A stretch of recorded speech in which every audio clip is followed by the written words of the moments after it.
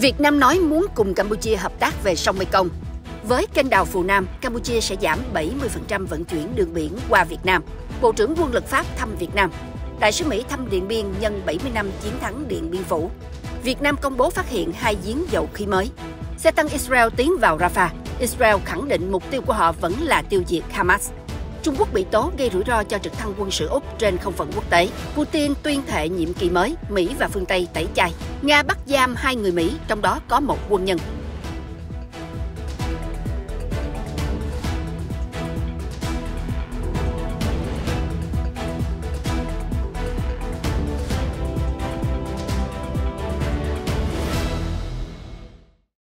Thủ tướng Việt Nam Phạm Minh Chính hôm 6 tháng 5 tiếp Phó Thủ tướng Campuchia Neth Savoyen nhân dịp ông sang Việt Nam dự lễ kỷ niệm 70 năm chiến thắng Điện Biên Phủ, trong bối cảnh hai nước lời qua tiếng lại về kênh đào Phù Nam.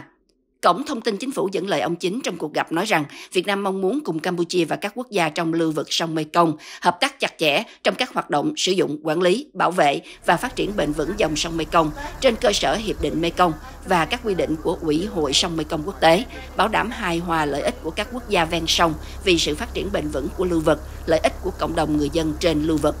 Nguồn tin này không cho biết phản ứng của ông Savoen khi ông Chính nhắc tới vấn đề sông Mekong như thế nào.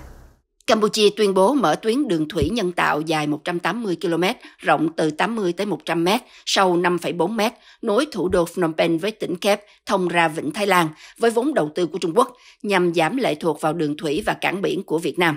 Báo chí Việt Nam tháng trước dẫn lời các chuyên gia Việt Nam đưa ra những ước tính khác nhau rằng kênh đào Phù Nam có thể sẽ làm giảm mất từ 30 tới 50% lượng nước chảy vào Việt Nam. Campuchia có kế hoạch cắt giảm 70% vận tải hàng hóa qua các cảng Việt Nam nhờ dự án nâng cấp kênh đào nối lưu vực sông Mekong với bờ biển Campuchia trị giá 1,7 tỷ đô la do Trung Quốc tài trợ. Phó Thủ tướng nước này nói với Reuters hôm 6 tháng 5. Dự án kênh đào Phù Nam dự kiến hoàn thành vào năm 2028 có thể gây ra căng thẳng giữa Campuchia và Việt Nam, vốn là những đối tác thân thiết nhưng thường xuyên xung đột. Ông Sun Chanthon cho biết hiện tại khoảng 33% hàng hóa đến và đi từ Campuchia sử dụng các cảng của Việt Nam cho thương mại toàn cầu bằng cách vận chuyển qua sông Mekong, đồng thời lưu ý rằng với kênh đào được mở rộng thì mục tiêu là giảm tỷ lệ đó xuống còn 10%, tức là sẽ giảm 70% so với khối lượng vận chuyển hiện tại. Các nhà bảo tồn và chính quyền Việt Nam đã lên tiếng cảnh báo về thiệt hại tiềm tàng đối với đồng bằng sông Cửu Long, vùng sản xuất lúa gạo lớn hỗ trợ hàng triệu người ở hạ lưu Việt Nam. Tuy nhiên, ông Sun Chanthon cho biết kênh đào sẽ được sử dụng để tưới tiêu trên đất liền và đánh bắt cá. Ông cho biết Campuchia đã thông báo cho Ủy ban sông Mekong MRC, một tổ chức liên chính phủ để các nước Đông Nam Á cùng quản lý lưu vực sông Mekong, nhưng sẽ không tham khảo ý kiến các nước khác trong khu vực về dự án này.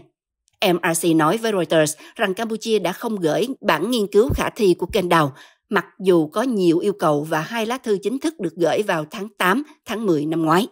Ông Sun Chathon giải thích rằng dự án dự kiến sẽ mang lại lợi ích cho 1,6 triệu người Campuchia nhờ tưới tiêu tốt hơn cho nông nghiệp, chỉ liên quan tới các nhánh của sông Mekong nên không cần tham vấn với các đối tác. Vẫn theo lời ông, Tập đoàn Cầu đường Trung Quốc, một công ty xây dựng lớn thuộc sở hữu nhà nước của Trung Quốc, sẽ phát triển kênh đào này để trang trải toàn bộ chi phí theo thỏa thuận với chính phủ Campuchia – đồng thời lưu ý rằng đổi lại công ty sẽ nhận được nhượng quyền trong nhiều thập niên với thời hạn chính xác đang được đàm phán. It is absolutely untrue. Ông Sun Chathon cũng cho biết suy đoán rằng kênh đào này có thể được Trung Quốc sử dụng để cho phép các tàu chiến Trung Quốc tiếp cận thượng nguồn là hoàn toàn sai sự thật và vô căn cứ, theo lời của ông. Bộ trưởng quân lực Pháp Sebastian Lecornu gặp Thủ tướng Phạm Minh Chính và hội đàm với người tương nhiệm Phan Văn Giang bàn về hợp tác quân sự Pháp-Việt và chuẩn bị cho chuyến thăm của Tổng thống Emmanuel Macron tới Việt Nam, truyền thông nhà nước đưa tin. Ông Lecornu đang thăm Việt Nam để dự lễ kỷ niệm 70 năm chiến thắng Điện Biên Phủ hôm 7 tháng 5 tại thành phố Điện Biên Phủ, tỉnh Điện Biên. Tiếp Bộ trưởng Pháp hôm 6 tháng 5, Thủ tướng Việt Nam đã chuyển lời mời của Tổng bí thư Đảng Cộng sản Việt Nam Nguyễn Phú Trọng tới Tổng thống Emmanuel Macron và lời mời của bản thân ông tới Thủ tướng Gabriel Attal để mời hai nhà lãnh đạo này sang thăm Việt Nam.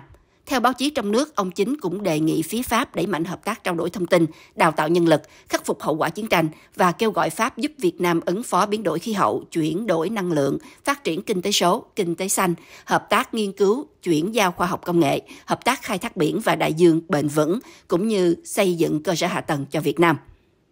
Về vấn đề Biển Đông, ông Lecornu và ông Chính được cho là đã chia sẻ mục tiêu hòa bình, an ninh, ổn định, tự do hàng hải, giải quyết tranh chấp thông qua các biện pháp hòa bình phù hợp với luật pháp quốc tế. Trước đó một ngày, Bộ trưởng Quốc phòng Việt Nam Phan Văn Giang tiếp đón và hội đàm với ông Lecornu. Hai bên đã ký kết ý định thư về tăng cường hợp tác quốc phòng Việt-Pháp, vẫn theo truyền thông nhà nước. Đại sứ Hoa Kỳ tại Việt Nam Mark Napper vừa có chuyến thăm tới tỉnh Điện Biên ở phía Bắc Việt Nam nhân kỷ niệm 70 năm chiến thắng Điện Biên Phủ, theo trang Facebook của Đại sứ quán Mỹ hôm 6 tháng 5. Đại sứ quán Hoa Kỳ dẫn lời ông Napper rằng chúng tôi đã và đang hợp tác với tỉnh nhằm tăng cường phát triển kinh tế, y tế giáo dục cũng như phòng chống mua bán người và ma túy và đã tạo ra những tác động tích cực tới cộng đồng địa phương.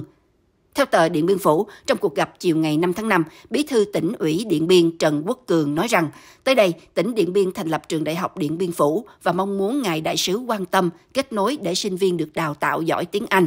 Đồng thời cũng bày tỏ mong muốn sẽ được tiếp đón nhiều du khách từ Hợp chủng quốc Hoa Kỳ sang thăm, tìm hiểu và hỗ trợ nguồn lực để góp phần giúp người dân nâng cao đời sống vật chất tinh thần.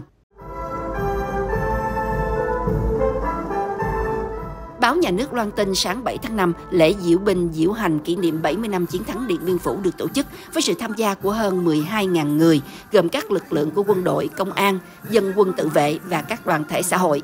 Bộ trưởng Quốc phòng Pháp, Phó Thủ tướng Bộ trưởng Quốc phòng Lào, Phó Thủ tướng Campuchia và nhiều đại sứ các nước tại Việt Nam cùng tham dự buổi lễ, sự kiện chính thức và quan trọng nhất trong chuỗi hoạt động kỷ niệm 70 năm chiến thắng Điện Biên Phủ.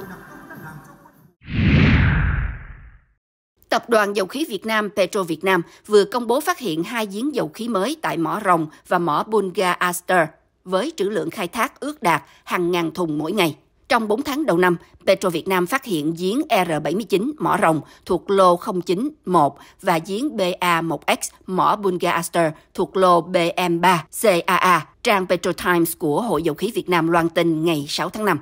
Tại giếng R79, nhà điều hành Vietso Petro, một liên doanh của Petro Việt Nam và tập đoàn Zaruvenev của Nga đã thử và nhận được dòng dầu tự phun với lưu lượng ước đạt gần 6.300 thùng mỗi ngày. Giếng BA1X vừa được đưa vào khai thác từ ngày 5 tháng 5 với sản lượng ban đầu khoảng 2.100 thùng mỗi ngày, vẫn theo trang Petro Times. Lãnh đạo Petro Việt Nam cho rằng thành công của những phát hiện này mở ra những hướng đi quan trọng trong công tác thăm dò khai thác, đặc biệt là công tác thăm dò tại các lô hợp đồng đã và đang khai thác được cho là vẫn còn có cơ hội tiềm năng.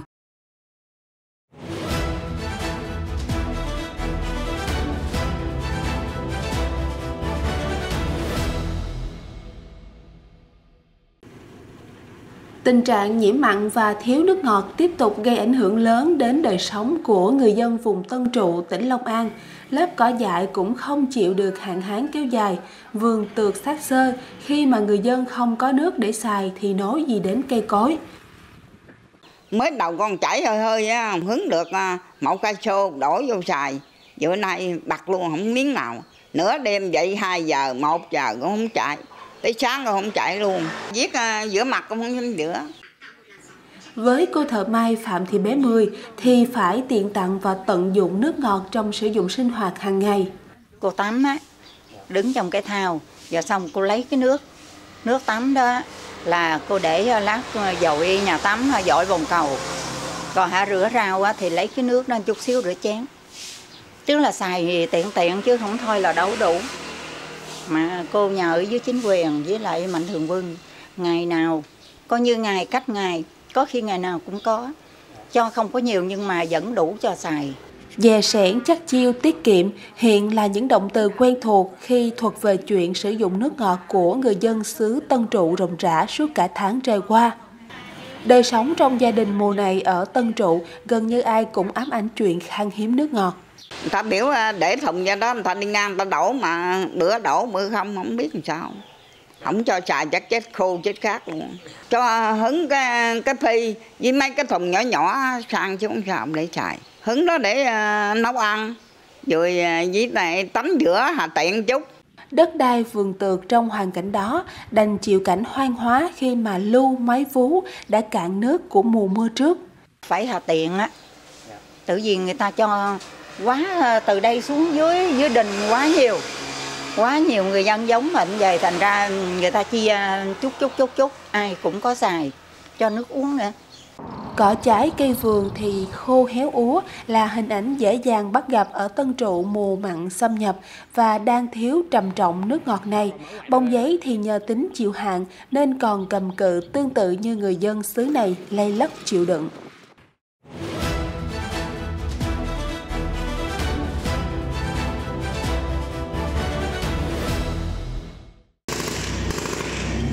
Quân đội Israel hôm 7 tháng 5 chiếm quyền kiểm soát cửa khẩu biên giới Rafah giữa Gaza và Ai Cập. Xe tăng Israel đã tiến vào Rafah sau một đêm không kích tại Gaza. Đoạn video này phát hành hôm 7 tháng 5 được cho là lúc xe tăng Israel tiến vào một công viên gần cửa khẩu biên giới Rafah ở phía Gaza. Các binh sĩ dừng cờ Israel. Reuters không thể kiểm chứng độc lập ngày ghi hình đoạn phim.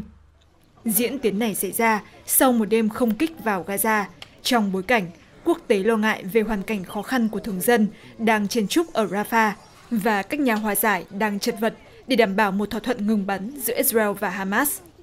Nhóm hiếu chiến Palestine cuối ngày 6 tháng 5 cho biết họ đã đồng ý với một đề nghị ngừng bắn, nhưng Israel cho biết các điều khoản trong đó không đáp ứng yêu cầu của họ. Một phát ngôn viên của giới hữu trách biên giới Gaza nói với Reuters rằng cửa khẩu Rafah, tuyến đường quan trọng để viện trợ vào vùng đất này, hiện đã bị đóng cửa. Xe cứu trợ được nhìn thấy bị mắc kẹt tại cửa khẩu Rafah ở bên phía Ai Cập.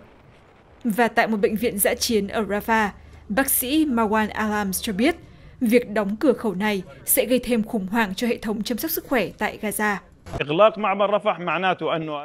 Việc đóng cửa khẩu Rafah đồng nghĩa với cái chết của hàng nghìn bệnh nhân, hàng nghìn người bị thương sẽ tử bị đạo, các nguồn dinh dưỡng, nguồn lực y tế và viện trợ nhân đạo sẽ không vào được giải Gaza. Đồng nghĩa với việc sẽ có nhiều bệnh tật hơn, nhiều bệnh nhân hơn, cần được điều trị mà không được chữa trị, nhiều bệnh nhân mắc bệnh mãn tính hơn, những bệnh mới mà chúng tôi không tìm được thuốc điều trị và do đó số lượng bệnh nhân sẽ tăng lên. Sáng ngày 7 tháng 5, cư dân tìm kiếm thi thể dưới đống đổ nát của những tòa nhà tan hoang ở Rafah. Hơn một triệu người đã dồn về Rafah tìm nơi ẩn náu, sống trong các lều trại và nơi trú ẩn tạm bỡ nhiều người đang cố gắng rời đi, tuân theo lệnh sơ tán của Israel. Nhưng với nhiều vùng ở Gaza đã bị săn bằng thành bình địa, họ nói rằng họ không còn nơi nào an toàn để đi nữa. Quân đội Israel cho biết một chiến dịch có giới hạn ở Rafah nhằm tiêu diệt các chiến binh Hamas và phá hủy cơ sở hạ tầng được Hamas sử dụng. Israel cho biết đại đa số người dân đã được sơ tán khỏi khu vực hoạt động quân sự và Israel đã yêu cầu họ đi đến nơi mà Israel gọi là khu vực nhân đạo mở rộng cách đó khoảng 20 km. Ai Cập cho biết hoạt động của Israel ở Rafah đe dọa các nỗ lực ngừng bắn. Và người đứng đầu chính sách đối ngoại của Liên hiệp châu Âu Joseph Borrell cho biết cuộc tấn công sẽ gây chết người. Tôi e rằng điều này sẽ lại gây ra nhiều thương vong, thương vong cho dân thường, dù họ có nói gì đi nữa, không có vùng an toàn ở Gaza. Trong lúc các cuộc đàm phán ngừng bắn gặp khó khăn, Trung gian hòa giải Qatar cho biết phái đoàn của họ sẽ tới Cairo vào ngày 7 tháng 5 để nối lại các cuộc đàm phán ngừng bắn gián tiếp giữa Israel và Hamas. Một quan chức Palestine thân cận với các nỗ lực hòa giải nói với Reuters, một phái đoàn Hamas có thể đến Cairo vào cuối ngày 7 tháng 5 hoặc mùng 8 tháng 5. Một quan chức cấp cao của Israel ngày 7 tháng 5 cũng cho biết rằng một nhóm quan chức cấp trung của Israel sẽ tới Ai Cập để đánh giá xem liệu Hamas có thể bị thuyết phục để thay đổi đề xuất ngừng bắn mới nhất của họ hay không. Quan chức này nhắc lại rằng đề xuất của Hamas là không thể chấp nhận được đối với Israel.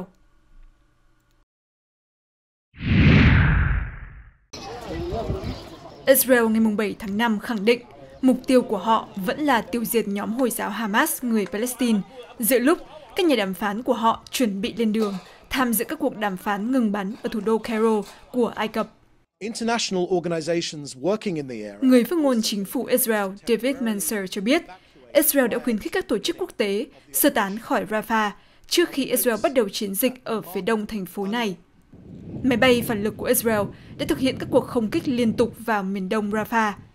Rafah nằm ở phía nam giải Gaza, nơi có hơn một triệu người Palestine đang lánh nạn vì cuộc chiến kéo dài 7 tháng qua. Quân đội Israel cho biết chiến dịch có giới hạn ở Rafah nhằm tiêu diệt các tay súng Hamas và phá hủy cơ sở hạ tầng được Hamas sử dụng. Hamas là lực lượng cai trị Gaza. Người phát ngôn chính phủ Israel nói viện trợ nhân đạo vẫn đang đến Gaza hàng ngày. Tuy nhiên, các cơ quan của Liên Hợp Quốc hôm 7 tháng 5 cho biết hai cửa khẩu chính vào phía nam giải Gaza vẫn bị đóng cửa, gần như cắt đứt nguồn viện trợ từ bên ngoài vào Gaza.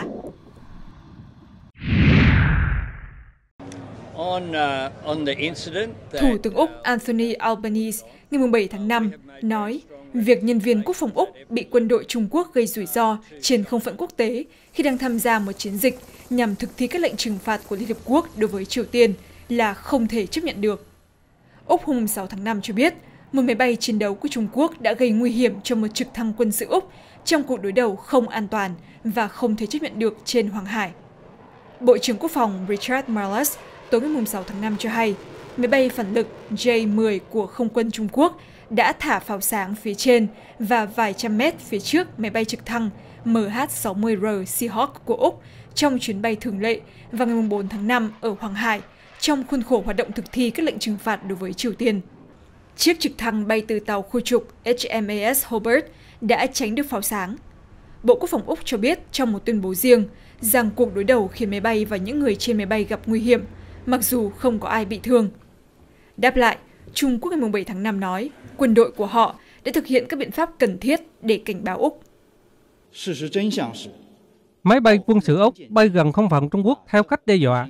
Quân đội Trung Quốc đã thực hiện các biện pháp cần thiết để cảnh báo phía Úc.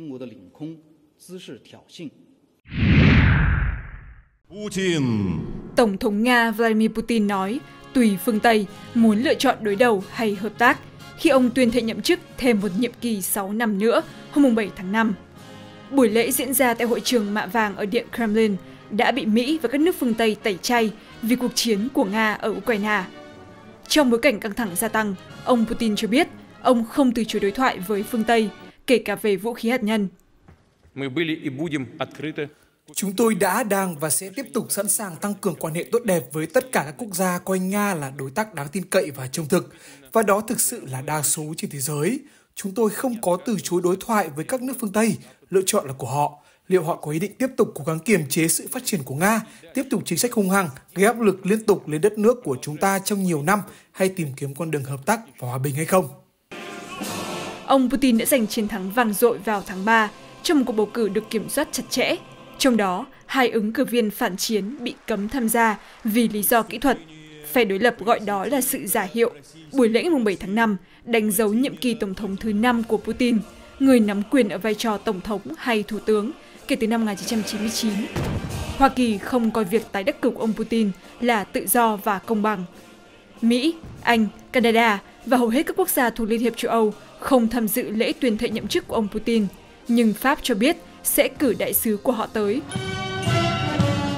Ông Putin bắt đầu nhiệm kỳ mới hơn 2 năm sau khi xua hàng chục ngàn quân vào Ukraine và chiếm lĩnh bối cảnh chính trị trong nước. Những nhân vật đối lập hàng đầu của Putin hoặc bị tù đầy hoặc sống lưu vong. Người chỉ trích Putin nổi tiếng nhất là Alexei Navalny đã đột ngột qua đời tại trại giam Bắc Cực vào tháng 2. Trên bình diện quốc tế, ông Putin đang vướng vào cuộc đối đầu với các nước phương Tây mà ông cáo buộc sử dụng Ukraine làm phương tiện để cố gắng đánh bại và chia cắt Nga. Một trong những quyết định đang chờ Putin trong nhiệm kỳ mới sẽ là liệu có tìm cách gia hạn hoặc thay thế hiệp ước cuối cùng còn lại nhằm hạn chế đầu đạn hạt nhân chiến lược của Nga và Mỹ hay không. Thỏa thuận START mới sẽ hết hạn vào năm 2026. Theo hiến pháp, chính phủ đã từ chức khi bắt đầu nhiệm kỳ tổng thống mới. Putin đã ra lệnh giữ chính phủ này, trong khi ông bổ nhiệm tân chính phủ, dự kiến sẽ bao gồm nhiều gương mặt cũ.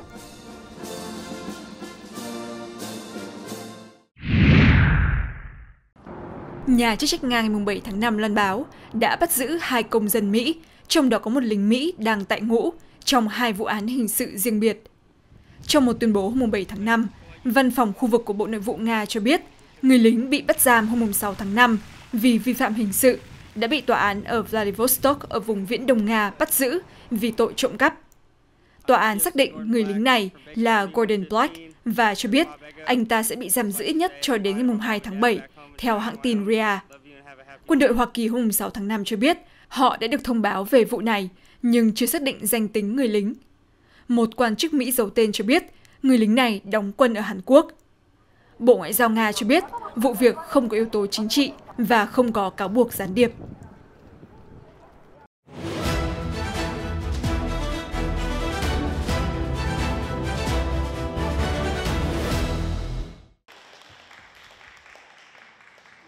Hội chuyên gia không gian Việt Mỹ, gọi tắt là VAPA, vừa tổ chức cuộc thi chuyên đề toán cho các em học sinh lớp 6, 7 và 8 ở khu Lido Sài Gòn, quận Cam, tại trường trung học cấp 2 Johnson, miền Nam California hôm ngày 4 tháng 5. Đây là năm đầu tiên sau đại dịch Covid và là năm thứ tư Hội VAPA tổ chức cuộc thi toán chú trọng vào các em học sinh người Mỹ gốc Việt. Chúng tôi muốn uh, truyền đạt lại uh, cho những em học sinh cái vùng uh, Orange County này à, mà đặc biệt là những em học sinh Việt Nam của chúng ta à, để mà các em thấy cái môn toán là một cái môn rất là rất là thú vị không có phải khó khăn như là những em mà nghĩ à, đặc biệt là những em gái trước đây các em rất là sợ toán nhưng các em qua những cái cuộc thi này đó thì chúng tôi được những phản ảnh là các em rất là thích. Chúng tôi muốn các em trong tương lai sẽ tiếp tục những con đường chúng tôi để mà làm việc tiếp tục trong ngành quốc phòng và công dân Hoa Kỳ để mà phục vụ cho đất nước của Hoa Kỳ chúng ta và đặc biệt là những em người Việt tại vùng núi Sài Gòn này. Tuy cuộc thi chuyên đề toán này nằm ngoài chương trình giáo dục công lập, nhưng là cuộc thi được nhiều phụ huynh và con em gốc Việt hưởng ứng. Thì cháu có thích toán cho nên em tới để cho cháu um, học hỏi thêm từ các bạn, từ team và có một chút gì à, khám phá thêm về uh, toán. Cái toán thì em thấy là rất là tốt, rất là hữu dụng cho tương lai của cháu sau này. Mình học ngành nào thì mình cũng cần có những uh, uh, cái kiến thức về toán. Yeah. Trong cuộc thi này, em phải suy nghĩ và giao tiếp với tất cả các thành viên trong nhóm. Điều này giúp cho khả năng giao tiếp của em, nên cuộc thi rất là có ích cho em. Tất cả tụi em phải bàn thảo làm cách nào để giải quyết vấn đề với bạn bè. I really like the last question. Em rất thích câu hỏi cuối cùng. Em nghĩ câu đó hơi khó nhưng cũng dễ. Cân bằng, rất cân bằng. Điều các em thích thú cũng chính là điều mà các thầy cô mong mỏi. Đó là tinh thần làm việc và giải quyết vấn đề chung với nhau. Điều vui nhất đối với tôi là một giáo viên là khi nhìn các em làm việc chung với nhau, cùng nhau giải quyết vấn đề và hào hứng khi tìm ra đáp án mà các em nghĩ là đúng. Mỗi em có một sở trường riêng nên chúng tôi tìm cách để các em được hòa nhập trở thành một thành viên của nhóm. Bạn biết đó một vài em không muốn làm việc với nhóm. Nhiều em thích làm việc riêng một mình nên chúng tôi động viên tụi nó làm việc chung với nhau, cố gắng chăm chỉ hơn cùng với bạn bè. Vì là cuộc thi nên các em chỉ có chính xác một phút để tìm đáp án, nên các em không thích áp lực này cho lắm.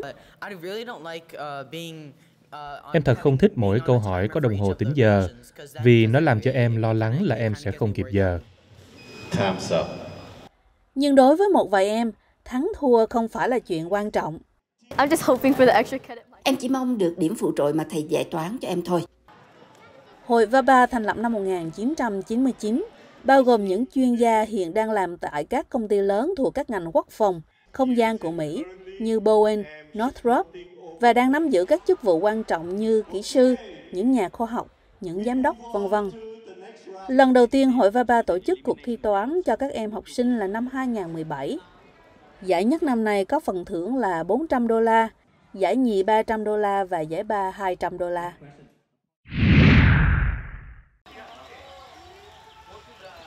Trong hai ngày mùng 4 và mùng 5 tháng 5, bất chấp thời tiết không thuận lợi, mưa từ sáng tới chiều muộn, ngày Tết Lào truyền thống vẫn được tổ chức ở thành phố Manassas, ngoại ô thủ đô nước Mỹ, thu hút rất nhiều sắc dân khác nhau tới tham dự. Ngày Tết truyền thống của người Lào được mở đầu bằng nghi lễ thờ phượng Phật giáo, cúng khất thực khi Phật tử dâng cơm cho tăng ni và những hoạt động cầu may của mọi người. Ngày Tết của người Lào chúng tôi thường diễn ra vào dịp tháng thứ năm hàng năm theo truyền thống. Nhưng thực tế thì ngay từ dịp giữa tháng tư khi tiết trời ấm áp, thì những hoạt động chào đón năm mới đã diễn ra ở rất nhiều ngôi chùa và các trung tâm văn hóa khác nhau. Khi chúng tôi di cư tới đây thì rất mừng là ngày Tết truyền thống này và nhiều sinh hoạt văn hóa khác vẫn được cộng đồng bảo tồn nguyên vẹn. Tôi tới đây tất nhiên là để chung vui trong ngày lễ đặc biệt này của cộng đồng người Lào rồi. Đây là một trong những ngày lễ rất hấp dẫn giống như ngày Tết té nước của người Thái. Tôi đã tới đây đều đặn trong nhiều năm qua, có lẽ là từ khoảng 30 năm trước đây. Tôi rất yêu thích những chương trình lễ hội văn hóa của họ ở đây hàng năm, trong đó có ngày Tết truyền thống này.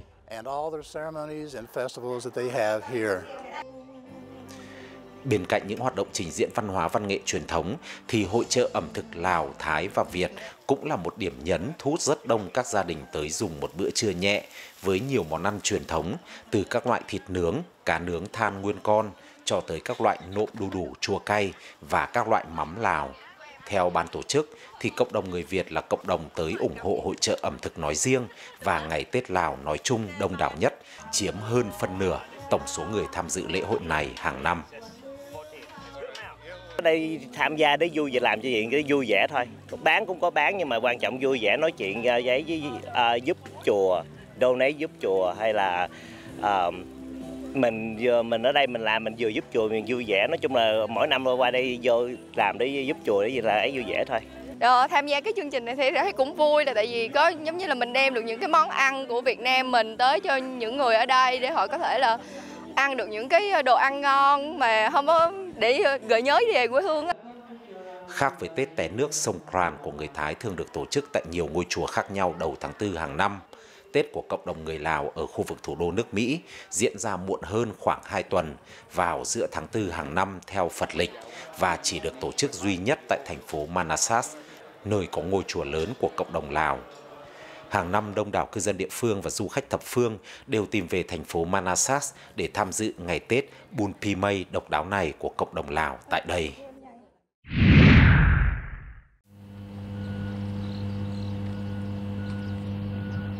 Sau khi mất hàng giờ đồng hồ sản xuất do tình trạng thiếu điện kinh niên ở Zimbabwe, mỏ vàng Turk đã quyết định hành động. Người công nhân đã di chuyển 1,5 triệu tấn chất thải quặng ra khỏi bãi rác và xây dựng trên đây một nhà máy năng lượng mặt trời tạo ra 4,4 MW điện mỗi giờ.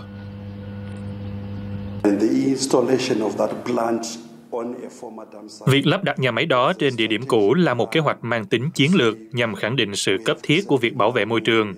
Chúng ta phải tránh chặt cây trên vùng đất mới. Vì vậy, chúng tôi đã chọn địa điểm là một bãi thải cũ mà chúng tôi đã cải tạo.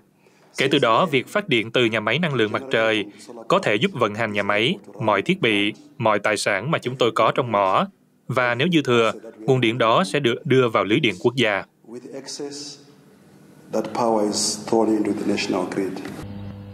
Đanda cho biết bãi thải mới không giống như bãi cũ, vốn thải chất thải ô nhiễm ra con sông gần đó. Thay vào đó, chất thải rắn được giữ lại ở bãi thải trong khi nước được tái chế để sử dụng tại mỏ. Chipo Mpofu Juze, người đứng đầu cơ quan quản lý môi trường ở khu vực phía tây nam Zimbabwe, nói rằng các mỏ khác nên học hỏi mỏ Turk. Khu mỏ chủ yếu do người Canada làm chủ. They removed waste, uh, the tailings Họ đưa chất thải đến một địa điểm mới được thiết kế phù hợp để bảo vệ nước ngầm khỏi bị ô nhiễm.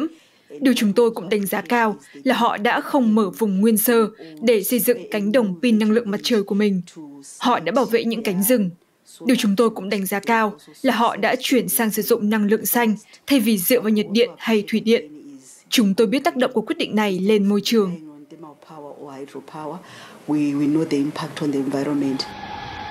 Moturk và các nhà khoa học của chính phủ nói dự án năng lượng mặt trời trải rộng trên diện tích 3,6 ha đất này sẽ tiết kiệm 5,4 triệu kg than mỗi năm cho nhiệt điện hoặc 116,8 triệu lít nước cho thủy điện. Không chỉ các nhà khoa học môi trường hoan nghênh dự án, Princess Fury, 23 tuổi, mẹ một con, là một trong những người dân địa phương được thuê để dọn bụi từ con lộ gần đó và từ hoạt động khai thác đá vôi cho các tấm pin mặt trời. Thu nhập của tôi tăng cao hơn trước. Giờ đây tôi có thể trả tiền học phí cho con, mua đồng phục và làm những điều mà mình muốn trong vai trò của một người mẹ.